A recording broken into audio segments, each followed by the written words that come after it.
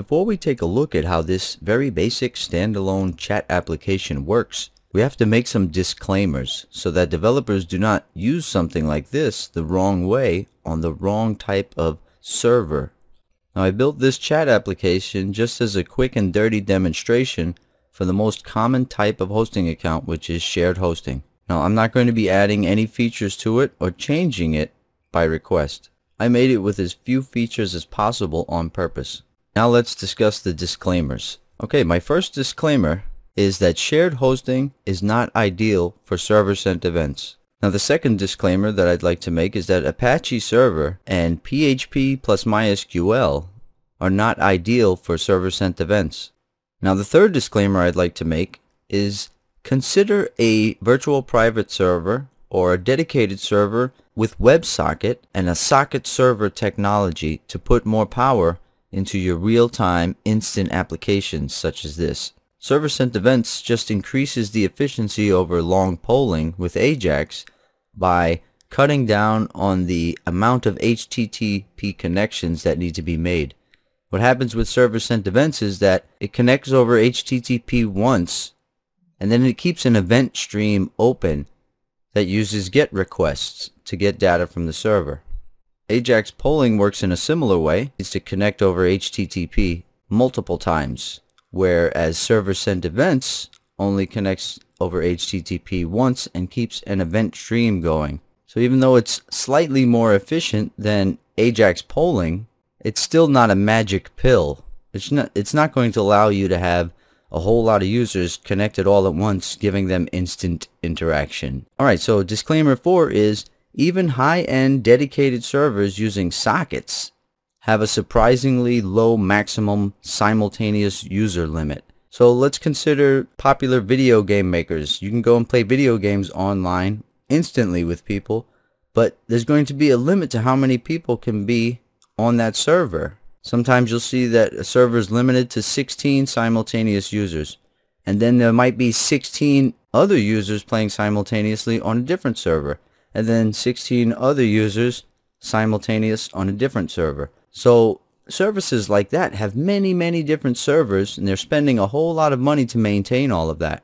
For instance, take Facebook.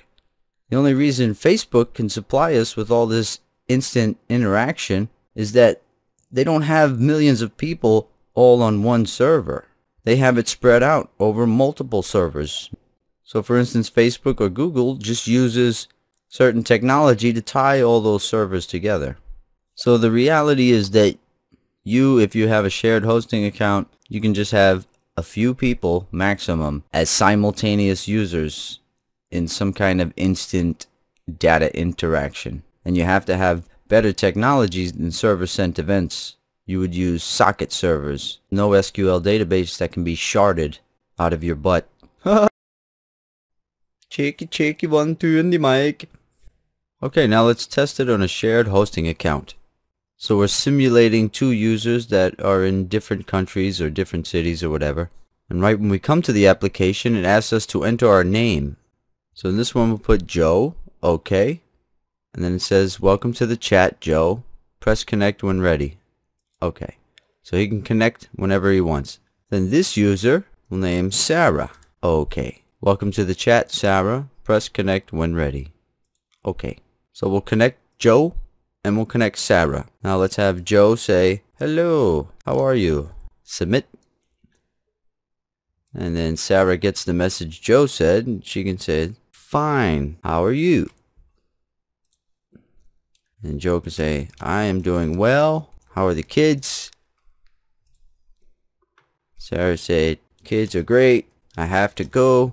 Talk to you later. And then Sarah can disconnect and Joe can disconnect. And that's how it works. I'm going to give you the whole application and you can dissect it. Take it apart, reverse engineer it, use little pieces of it that you want, whatever. So we have chatexample.php, then we have server.php, chatintake.php, and then chat.txt, which is the standalone database for this example, which starts out empty. So I'll have all of the code available for you guys. You can click the link in the description of the video to access all of the code. Then you can take it and run it on your own server to see what your server is capable of. But ultimately, I would recommend WebSocket with socket servers. Okay, before I go, let me show you how to run the console in Firefox. I'll just pull this window down a little bit and let's refresh the program and I updated my database to make it empty again and let's refresh both of these. Now let's name this one Mark. Welcome to the chat Mark. Okay. And then this one Pam. Okay. Welcome to the chat Pam. Press connect when ready. Okay. Now I changed the server to retry every five seconds. Now before we do that let's go ahead and open the console by pressing F12 let's pull this down a little bit. Now we'll be able to see things that are happening. So let's connect and connect over here as well. Now let's type something in. Hello there. Submit. And then Pam said hello there. And then over here it says Pam said hello there to the user. I think it was Mark. Said hi Pam. So Mark said hi Pam. Pam says see you later. Submit. Now you can see everything that's happening down here in the console. The GET requests are the event stream coming in from the server. The POST requests are the AJAX requests. So you might find that handy when you're testing in Firefox, just hit F12 and your console will toggle open and closed.